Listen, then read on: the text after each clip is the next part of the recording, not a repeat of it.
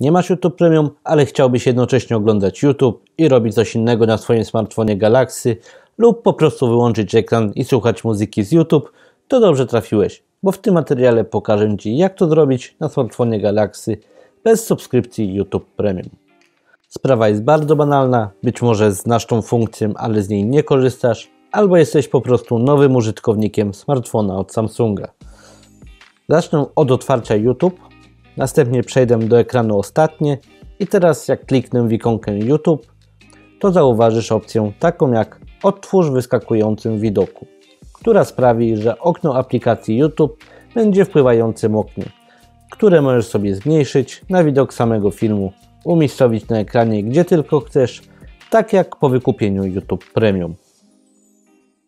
Dodatkowo możesz uruchomić drugą aplikację, z której chcesz dodatkowo korzystać, czyli możesz przeglądać sobie na przykład Face'a i słuchać recenzji na YouTube.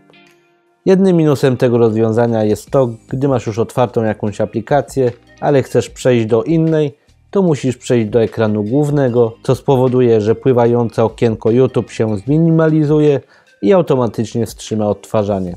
Więc za każdym razem trzeba będzie kliknąć w ikonkę i wznowić odtwarzanie. Jest też druga opcja. Po otwarciu YouTube przejdź do ekranu Ostatnie, kliknij w ikonkę YouTube i wybierz opcję Otwórz widoku podzielonego ekranu.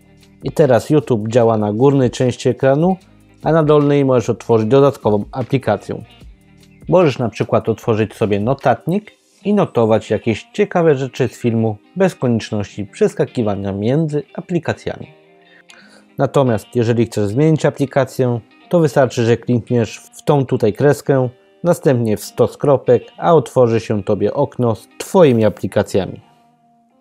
Konto Premium na YouTube daje również możliwość odtwarzania treści na wyłączonym ekranie, tak aby oszczędzać baterię i można to zrobić również bez konta Premium przy pomocy pewnej aplikacji ze sklepu Play. Przejdź do sklepu Play i wyszukaj aplikację tak jak widzisz ją na ekranie. Black Screen Video Screen Off. Natomiast po instalacji nazwa tej aplikacji widnieje jako czarny ekran. W sumie w tej aplikacji nic ustawiać nie musisz. Teraz kliknij początek. Po środku pojawiła się taka pływająca ikonka. Więc przechodzę do YouTube, włączam jakąś muzykę i klikam w tą ikonkę. Wtedy ekran robi się czarny, a muzyka z YouTube dalej leci w tle. Natomiast żeby go wybudzić, muszę dotknąć ekran i kliknąć w napis odblokuj. Jak widać, treść na YouTube się nie zatrzymała. Teraz dla porównania zablokuję go normalnie. Nic nie słychać, a po odblokowaniu widać, że treść na YouTube została automatycznie wstrzymana. Jak już skończysz korzystać z YouTube na wyłączonym ekranie, to wróć jeszcze do aplikacji Black Screen i kliknij zatrzymywać się, aby ją wyłączyć.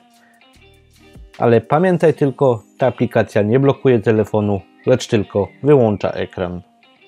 Poznaj właśnie obejście na dwie funkcje z YouTube Premium bez konieczności wykupywania konta Premium. Ale możesz zasubskrybować mój kanał i poznawać więcej ciekawych funkcji w swoim smartfonie Galaxy.